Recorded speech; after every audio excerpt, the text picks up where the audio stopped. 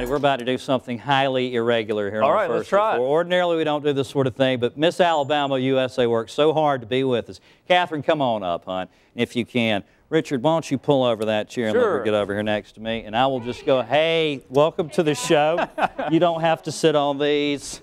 We'll get I like those out of the way. books, so. And I will try. Well, thank you for having me today. Absolutely. This mic is live. It's guest one, guys. Guest one.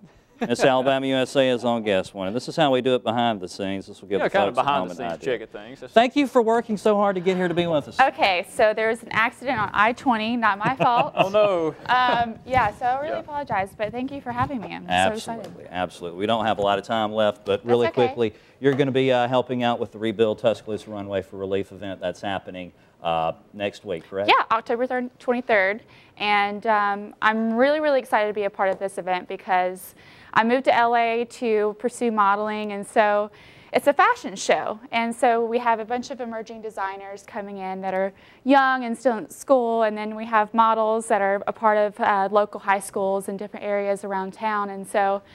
I would like to kind of be be there to help them, but not only that, but to really help promote what Rebuild Tuscaloosa is all about, and uh, bring awareness back to to the devastation that happened last year. And I and I know that it's been a year, but there's just so much more to do for the town of Tuscaloosa, and this event is really I think it'll be really really good for the um, to bring awareness to the event. So. Absolutely, and it sounds like it's going to be a lot of fun too. Katherine, we are all out of show. I'm sorry. It's but thank okay, you- no. Thank you for being with Thank us. you for having me. That's- Absolutely. Yes, ma'am, our pleasure. That's going to do it for today's First at Four. Have a good weekend, everybody. See you five.